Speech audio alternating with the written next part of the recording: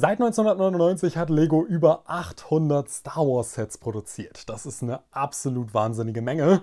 Und wie wahrscheinlich für jeden anderen von euch gibt es für mich so dieses eine bestimmte Modell, was sie zwar sehr oft probiert, aber niemals so richtig hinbekommen haben und deswegen müssen wir heute selber ran. Damit ein herzliches Willkommen hier zum Naboo Starfighter 2023 Edition. Der Naboo Starfighter ist eins meiner absoluten Lieblingsraumschiffe von Star Wars und ich nenne ihn auch gerne den Lamborghini unter den Starfightern.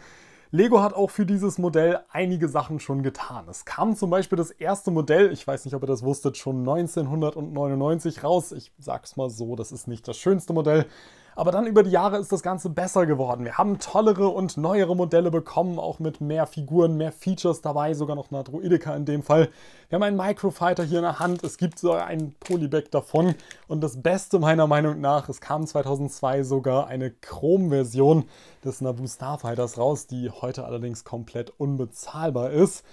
Aber jedes dieser Modelle, egal ob alt oder neu, das trifft nicht ganz meinen Geschmack. Es ist zwar alles irgendwie die richtige Farbe und ansatzweise die richtige Form, aber so ganz passen die Proportionen nicht und naja, sagen wir es so, Chrom haben wir seitdem hier auch nie wieder gesehen. Und ganz ehrlich, das müssen wir bis 2023 ändern. Wichtig für mich ist vor allem, dass ich einen Naboo Starfighter in der Hand habe, mit dem ich auch mal rumfliegen kann, wenn ich mal wieder zufällig The Phantom Menace gesehen habe. Aber dass ich natürlich auch etwas habe, was in der Vitrine vollkommen cool aussieht, weil es eben so akkurat wie möglich sein sollte. Und dabei bin ich tatsächlich auf ein ganz bestimmtes Modell gestoßen, und zwar das von Brickvault. Brickvault, wer sie nicht kennt, das ist quasi ein Online-Shop für ganz, ganz viele Mock-Modelle. Das sind Mock-Modelle tatsächlich von verschiedenen Künstlern. Die werden allerdings eben von Brickvault selber nochmal gebaut und getestet. Das ist nicht wie Rebrickable oder so, wo man vertrauen muss, dass der Creator tatsächlich auch das Richtige gemacht hat sondern die testen jedes Modell und stellen es erst dann auf die Website, wenn es eben so sicher und so akkurat und so gut wie möglich gebaut ist, sodass eben der Endkunde kein Problem mit dem Aufbau hat. Und ganz ehrlich, jetzt guckt euch mal bitte diesen Naboo Starfighter an. Wie cool sieht der denn bitte aus? Ich habe mich sofort in dieses Modell verliebt und musste es unbedingt nachbauen. Also habe ich die Bauanleitung für umgerechnet ungefähr 13,50 Euro gekauft und dann mir eben die Steine über Bricklink besorgt. Das Ganze habe ich bei sechs Shops insgesamt gemacht, deswegen haben wir hier insgesamt auch sechs Päckchen plus ein paar Steine, die ich eben selber noch zu Hause hatte. Und während ich die jetzt auspacke, werde ich euch einmal kurz die Namen von den Bricklink Shops sagen. Nicht, weil ich jetzt irgendwie Werbung machen möchte, sondern einfach, weil ich so tolle Erfahrungen mit den Shops gemacht habe. Es war wirklich alles vorhanden. Ich habe mich sehr gefreut. Teilweise waren Gummibärchen mit drin, deswegen vielen, vielen Dank an die Betreiber. Und damit auch ein herzliches Dankeschön an Kopalu Bricks. Das ist der liebe Patrick. Der hat mich nämlich auch erkannt und hat mir nochmal extra eine Mail geschrieben, dass er mir danken möchte, dass ich damals so viele Bricklink-Videos gemacht habe, weil er daraufhin überhaupt seinen Shop erst gestartet hat und das war toll, weil ich jetzt eben dann da einkaufen konnte. Deswegen ganz herzlichen Dank, lieber Patrick, auch für den tollen, tollen Kundenservice. Die zweite Bestellung kam von Your Build Box. Da habe ich, glaube ich, am meisten bestellt und der hat mich lustigerweise auch erkannt. Also liebe Grüße an der Stelle. Es waren noch vier weitere Bestellungen dabei, nämlich einmal von More Than Bricks, den KB Bricks, Steinhelm,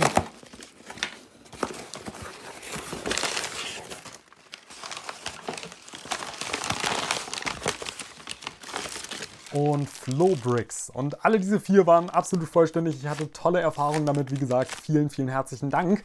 Und ich werde euch am Ende auch eine kurze Auflistung geben, was welcher Part an diesem Video gekostet hat. Aber erstmal kommen wir zum richtig coolen Aufbau, weil darauf habe ich mich so unglaublich lange gefreut.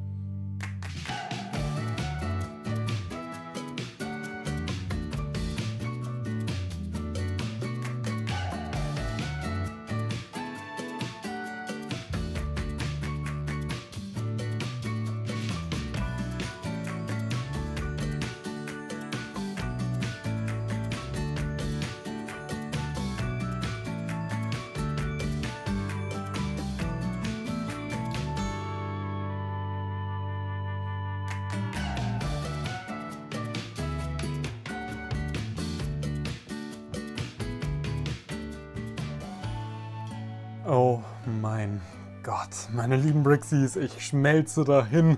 Dieses Modell ist der absolute Wahnsinn und ich weiß nicht, was ich sagen soll, außer guckt euch bitte diesen Unterschied an. 1999 hatte dieses komische Kastenmodell und dann haben wir das hier in der Hand gebaut. Natürlich ein Custom-Modell, kein offizielles Konsumerprodukt. Aber das Ding ist der absolute Wahnsinn. Ich bin echt glücklich, das hier in der Hand zu haben oder auch gebaut zu haben. Dieses Modell ist verdammt stabil und es ist auch verdammt cool swooshable. Ich werde mal kurz diesen Aufsteller hier unten abbauen. Den kann man dazu bauen. Man hat zwei Anleitungen, also einmal eben für diesen Aufsteller und dann hat man die noch für den Naboo Starfighter. Bekommt man beide in einem Kauf. Wie gesagt, man kann aber auch nur den Naboo Starfighter bauen und den irgendwie so hinlegen oder so. Dieses Naboo Starfighter Modell ist das absolut genialste Mock-Set, was ich jemals gesehen habe. Es gibt unglaublich viele davon eben draußen, also auch verschiedene von Brick Vault oder eben auch verschiedene andere Mocks, die echt gut sind aber das hier, das ist absolut mein persönlicher Favorit. Ein paar Dinge, die mir am meisten gefallen in dem Set, ist zum einen natürlich, dass es 100% akkurat ist oder zumindest 95%. Legos äh, Sets sind jetzt nicht wirklich akkurat gewesen, deswegen habe ich da mal gesagt, okay, das ist ein nettes Playset, aber so richtig schön sieht es dann nicht aus.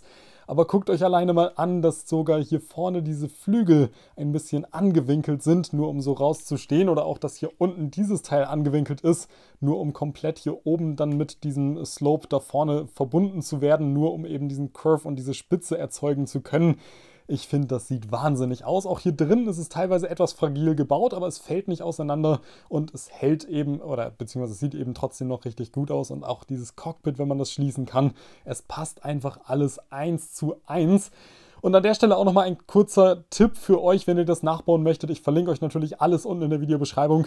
Dieses kleine Teil hier, das ist in der Teileliste von denen sehr, sehr teuer. Das hat, glaube ich, 5 oder 6 Euro gekostet, weil ich leider zu spät bemerkt habe, dass man auch ein komplett anderes, nämlich das Neuere davon hätte nehmen können, was glaube ich nur 20 Cent kostet oder so. Deswegen achtet drauf, wenn ihr das selber bestellen wollt. Und der Droidenkopf hier oben, der soll angeblich auch der rote sein. Der kostet allerdings auch eben um die 8 oder 9 Euro. Und da könnt ihr einiges an Geld sparen, wenn ihr da einfach einen R2D2-Kopf für gerade mal so 50 bis 60 Cent nehmt. Was mir noch gefällt, ist übrigens, dass dieses Modell unglaublich stabil ist. Ihr habt es gesehen, ich habe es die ganze Zeit schon in der Hand gehalten, aber man kann damit eben auch durch die Gegend fliegen und auch ja, Figuren reinsetzen und natürlich oben am Kopf drehen. Aber aber man kann es zum Beispiel auch an einem Flügel halten. Und das ist etwas, was ich von Mock-Sets bisher nicht so kenne, auch dass man das einfach so hier halten kann.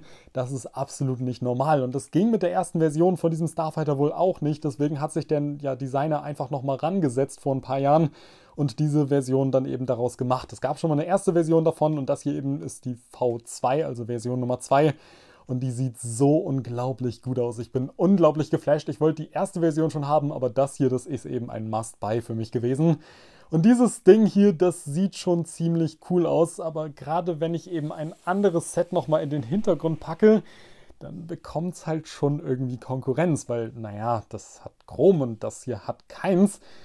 Aber das können wir ändern und zwar mit genau diesem Paket. Wer meinen Kanal schon eine Weile verfolgt und auch meine Mocks schon ein bisschen kennt, der kennt auch den Shop Chrome Block City. Das ist ein Online-Shop, der original Lego-Teile nimmt und wie dem Namen zu entnehmen ist, die Dinger verchromt und das in einer unglaublich guten Qualität, sodass ich mich eben immer wieder dafür entscheide, bei ihm was zu bestellen. Und diesmal war es tatsächlich eine sehr, sehr teure Bestellung aber ich wusste, dass wenn ich dieses Modell nachbaue, wenn ich mich dafür entscheide, tatsächlich dieses Custom-Modell für sehr, sehr viel Geld nachzubestellen oder auch einzeln zu bestellen, dann möchte ich, dass es richtig gut aussieht. Und dieses Modell an sich sieht ja, wie ihr seht, schon sehr, sehr genial aus und ich würde es auch jedem empfehlen, das einfach nachzubauen. Aber wie cool wird es aussehen, wenn wir das hier angebaut haben, nämlich alle Teile, die hier vorne in Light Bluish Gray sind, einfach in komplett Chrom. Und ich sag euch, das war teuer.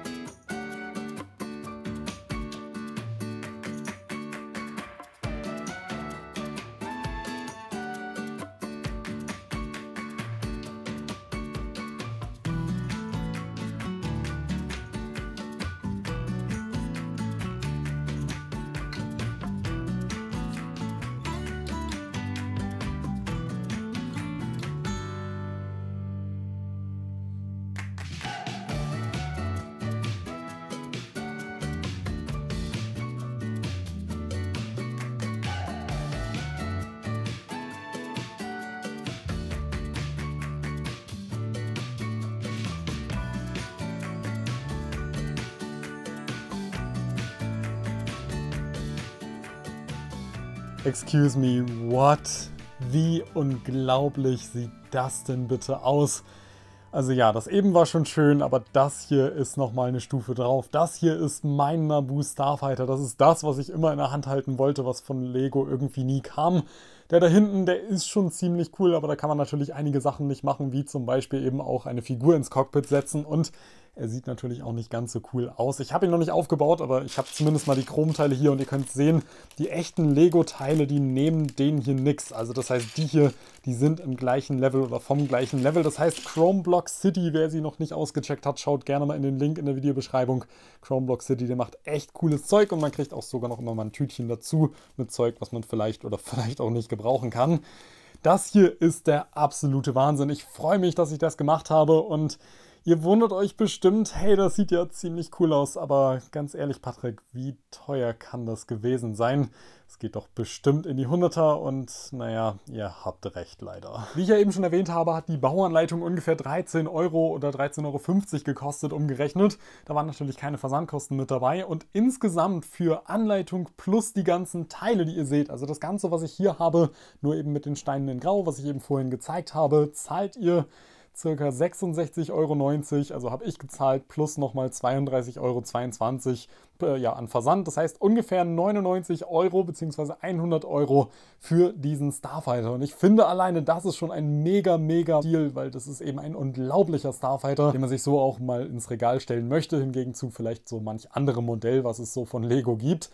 Und wenn ihr dann das Ganze noch chrom haben möchtet, wie ich das eben hier gemacht habe, und ich gebe es ja zu, das sieht schon ziemlich unglaublich aus, dann zahlt ihr zusätzlich zu den 100 Euro, die ihr sowieso schon für den Starfighter bezahlt, noch einmal 130 Euro nur für diese Chromteile hier vorne. Also das ist ein super teurer Spaß. Insgesamt liegen wir also bei 230 Euro für diesen Naboo Starfighter und das ist doch schon ein ganz anderes Level. Am Ende ist das hier aber ein absolut fantastisches Modell. Ist es 230 Euro wert? Ganz ehrlich, wahrscheinlich den meisten von euch nicht. Mir auf jeden Fall, weil ich ein absolut riesiger Fan des Naboo Starfighters bin und eigentlich auch diese Variante damals immer angeschmachtet habe, einfach weil sie aus Chromteilen bestand. Und jetzt habe ich eben auch noch eine Version, die zusätzlich auch noch gut aussieht und Chromteile dran hat. Also mehr geht eigentlich gar nicht. Besser ist eigentlich schon gar nicht mehr möglich. Aber ich kann mir gut vorstellen, dass eben viele von euch auf die normalen Versionen von Lego zurückgreifen oder vielleicht auch diese Version einfach mit normalen Teilen nachbauen. Einfach weil es zum einen günstiger ist, aber zum anderen man auch dann damit spielen kann und nicht immer Angst haben muss, dass irgendetwas daran zerkratzt oder so. Schreibt mir mal unbedingt in die Kommentare, was haltet ihr von diesem Naboo Starfighter Modell? Findet ihr das auch so unglaublich cool und würdet ihr euch das auch nachbauen oder würdet ihr vielleicht sogar auf die Chromteile verzichten und das stattdessen eben in Light Bruce Gray nachbauen, einfach weil es entweder günstiger ist oder für euch sogar besser aussieht? Schreibt es mir unbedingt unten rein und schaut euch auf jeden Fall auch gerne dieses Video hier an. Da habe ich nämlich vor ein paar Jahren tatsächlich mal eine kleinere Version davon gebaut und auch das war schon ein großes, großes Spektakel. Deswegen schaut da auf jeden Fall gerne rein. Die beiden sehen nämlich ziemlich cool zusammen aus.